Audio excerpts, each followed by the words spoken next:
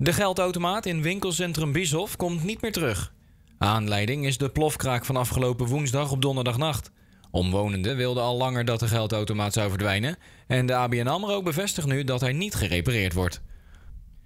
Volgens de bank zijn er nog voldoende andere automaten in de buurt om geld op te nemen.